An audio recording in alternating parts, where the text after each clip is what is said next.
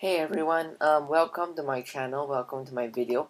Today I'm going to show you how to make these types of e effects if you can see here. Uh, as you know, this is the Apple iCloud and this is the iPhone 4S Siri.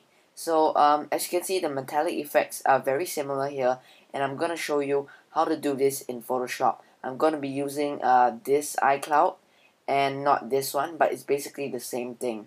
So first I'm using Photoshop CS4 and first um, just open up uh, a new um, title and I'll just name it iCloud for this purpose. Um, I want 800 times 800 pixels. For your choice is your your decision so I'll just click OK. And it'll create my canvas. And first of all you want to um, create um, select a gray color foreground color and a white background color. So the foreground color has to be gray such that um, as you can see here it's gray also to um, give the true effect. So I'll just select gray and I'll click OK. And select the round rectangle tool over here and change your radius to 120 pixels such that um, you may you are able to get this type of effect. For uh, the Siri effect you would have to take the circle you have to take the ellipse tool. But in this case I'm just using the rounded rectangle tool so after get um, changing your radius to 120 pixels just draw uh, something like that. And as you can see uh, it'll form a shape. Okay? So um, after that just right click on your new selected layer and go into blending options. And after that go into gradient overlay blend mode to overlay and um, your angle to 90 and linear to angle. So after that you um, because as you can see here it's in a round uh, sort of pattern and as you can see it's a round pattern all around here and so uh, you would want to change your gradient. So um, in your gradient you would have to um, use a gradient that will give you this type of effect a rounded image. So um, you will have to select and create a new effect so if you want to create a new effect to save it you can go there and create new. But in this case um, you have to make around 5 to 7 stops over here to create. So it's 1 2 3 4 5 6 7 I'll just put 7 and at the sides of this you will want to change it all to black. So I'll just alternate between the colors. So black white black white, black, white, and so on and so forth. And as you can see here, you uh, will form a pretty nice aluminum effect. So just drag and just um, separate them.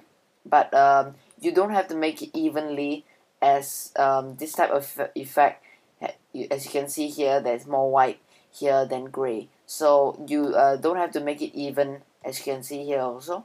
So just drag it all along and I'll just see if the effect will turn out nicely. Okay after that select your opacity and change it to around 60% okay after that you, you want to create a 3D effect and go into bevel and emboss. So uh, for your style, you want to uh, change it to inner bevel, and then also uh, change your technique to hard chisel, chisel hard. As you can see here, um, the bottom here will change your basically everything. And as you can see, there is a better effect. So your direction is up and your depth is 100%. Your size, you may want to increase it to the 10 to 12 to 15, sort of there. So I'm just going to change it to 10 after that, your highlight mode should be screen, your opacity 75%, and your uh, multiply opacity, you have to increase it to around 85%. As you can see here, it looks a nice, um, nice effect. So after that, we want to create a new layer. Go down here and just select and just I'll just rename it iCloud. And after that, um, select your paint bucket tool and just um, bring everything into this gray which you already have in your foreground color. So after that you uh, have this this um, thing and go into help if you don't know and go into add noise. So just add noise. So around 6 to 7 percent and distribution the Gaussian and take this option and press OK okay after that um, you want to go into radial blur. And so um, change your amount to around 50 and spin. And remember your quality has to be best such that um, it can create a very nice uh, refined image. So I'll just press OK. As you can see um, let's wait for it to process. As you can see it is a nice rounded aluminum color which after that it will look really very nice after refining it. Hey everyone welcome back. I'm sorry for the interruption.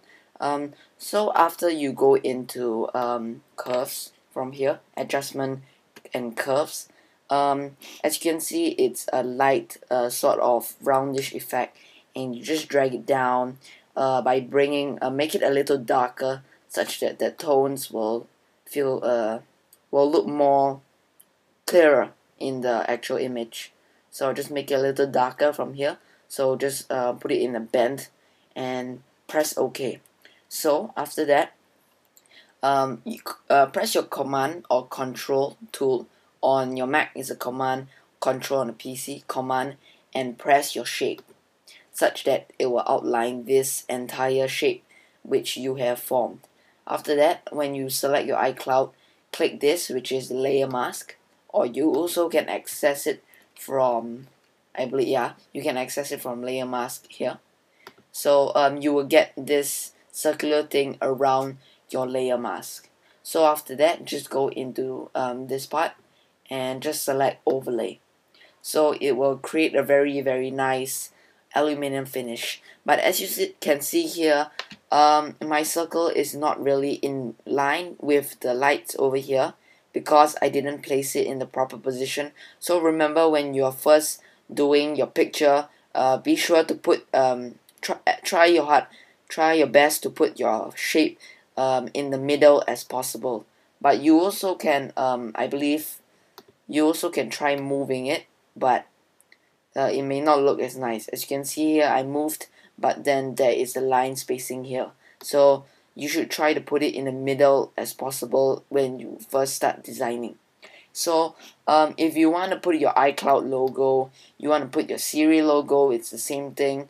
Um, you can go Google image search. I'll be uh, providing a link I believe uh, in the links in the description to download for uh, an iCloud image such that if you want to do it you can just put it in and so this is uh, available this aluminum texture a nice really nice texture can be applied to basically anything logos and you can even make the Siri logo. It's easier with the Siri logo than this actually. So this is my tutorial on how to make the iCloud slash Siri logo aluminum texture.